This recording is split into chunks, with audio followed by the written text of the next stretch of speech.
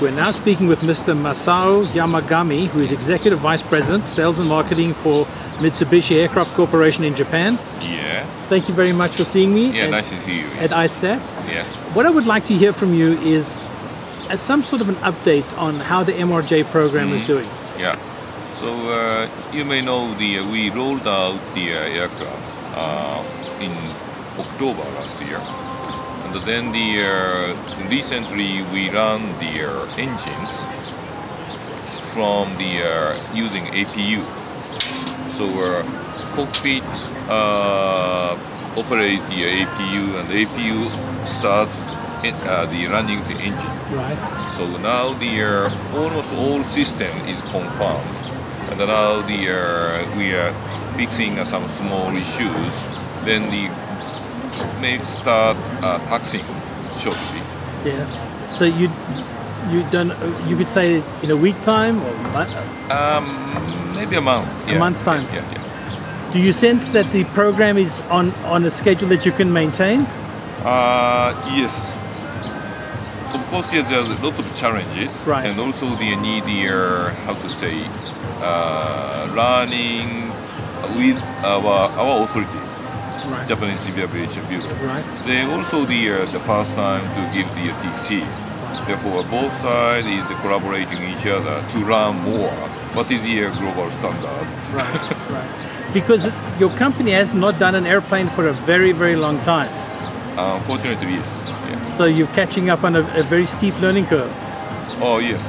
But uh, as you may know, the uh, Mitsubishi built the uh, lots of the uh, uh, military airplanes. Right. So aircraft itself is okay, but uh, the commercial side, the commercial transportation is a different animal.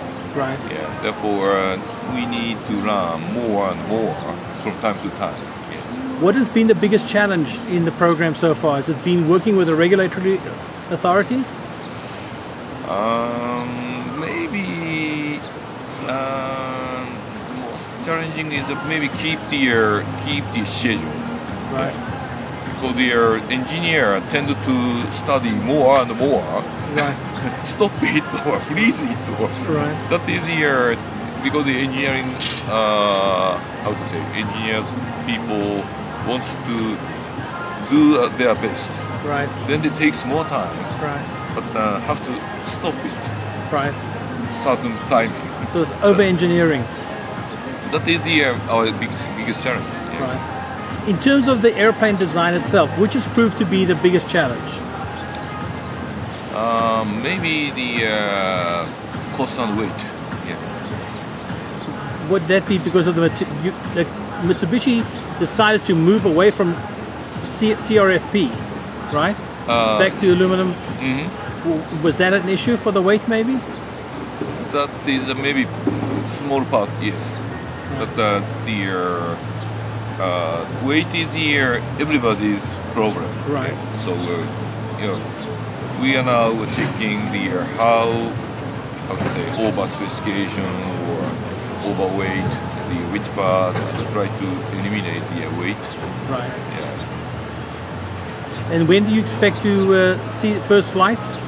Uh, second quarter of The- this year. right. Yeah. And then deliveries?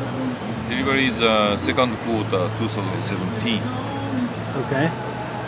Now that that's quite a long way from first flight to first delivery. Um, but um, this is here. Yeah, for for like uh, like us, the for the uh, um, not experienced manufacturer, it's an it's a yeah appropriate time.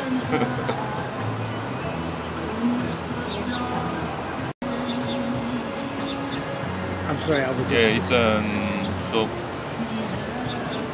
we have the detailed schedule for the flight test, and uh, but still we need the uh, yeah maybe two years yeah to get the first uh, to deliver the aircraft. So before that we have to get the uh, TC from JCAB or yeah. So how many how many airplanes do you think you will have in production before the first delivery takes place? We will use the five airplanes For the test. flight test. Yeah. yeah. Any any in- information that you can share with us so far on the engine? Everybody's fascinated by this engine. Uh, the very quiet. So we start engine running uh, recently, and uh, engineer was so surprised.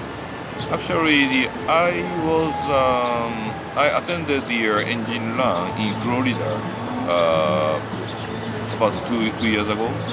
So I was so surprised uh, to hear that. It's almost APU, not the engine. Right. right. So uh, our engineer attended the uh, engine run, and uh, they were also surprised. Oh, it's so quiet. Yeah, It should have a big impact then for servicing smaller airports. I believe so. Yeah. Thank you very much.